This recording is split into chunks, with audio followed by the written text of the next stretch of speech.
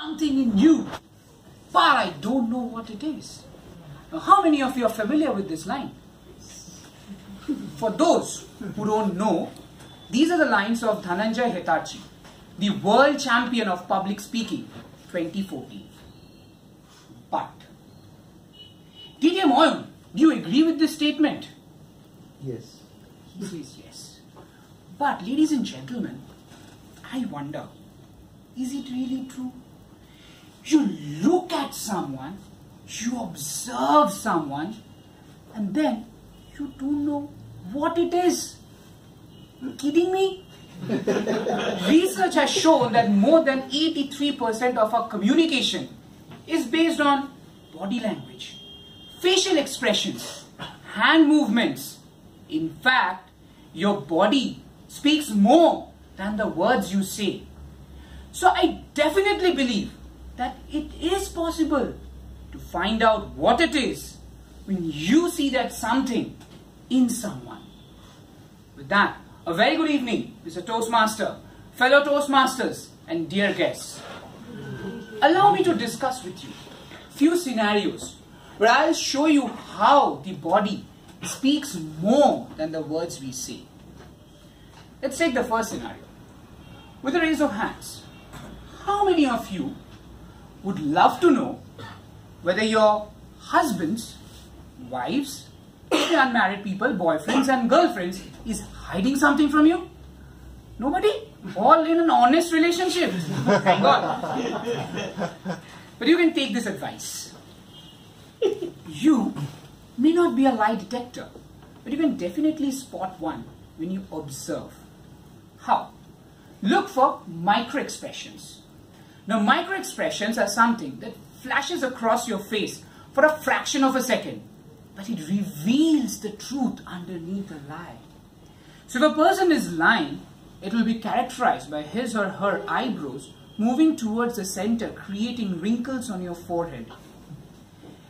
If a person is lying, he or she will try to rub his nose, cover his mouth, as if to prevent the lies from coming out.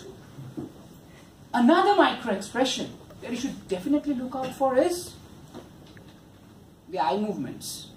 So, if a person is lying, you will notice that he or she will look up to his right more than often. So, people over here who wants to know if their bosses are speaking the truth, because I term them to be highly suspicious, you need to look out for these body languages. Well, let's take another scenario. A person may not lie to you. Accept it. I've seen a people, a pack of honest people over here who are into honest relationships. So people may not lie to you. But a person may not be interested in talking with you. Post a conversation, many a times we have realized that the person is listening to us just for the sake of being a good person. On my first date, I did not realize the person across the table was not interested in me, in my conversation. Wish I had known the language of body back then.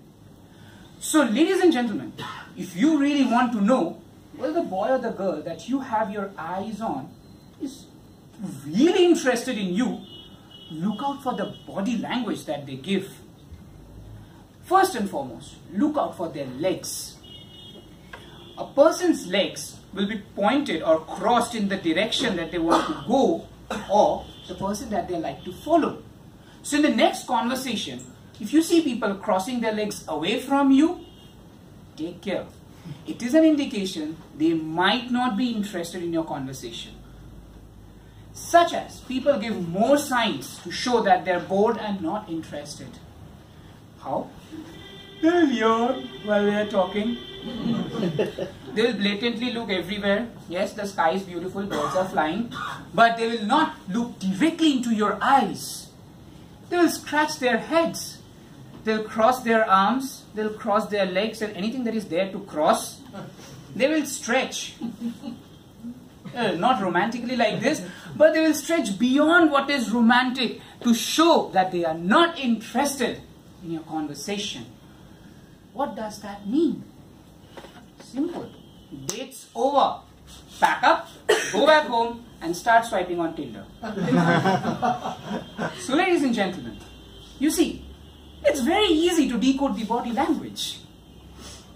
body language or non-verbal communication is so spontaneous that you can easily spot one. By now, if you see me looking up to the right, it means I am faking something.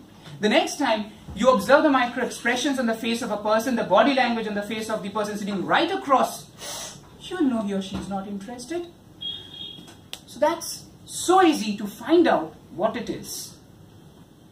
And in Toastmasters, we all are trying to master our communication skills, right? But that's apparently. If 80% of your communication skill depends on the body language, then can't I safely conclude that it's the body, sorry, the body language that makes the difference. It is your body language that makes difference in your speech. And once you decode it, then you can all tell with me that I can see something in you and I know, I definitely know what it is. Over to you, Mr. Toastmaster of the day.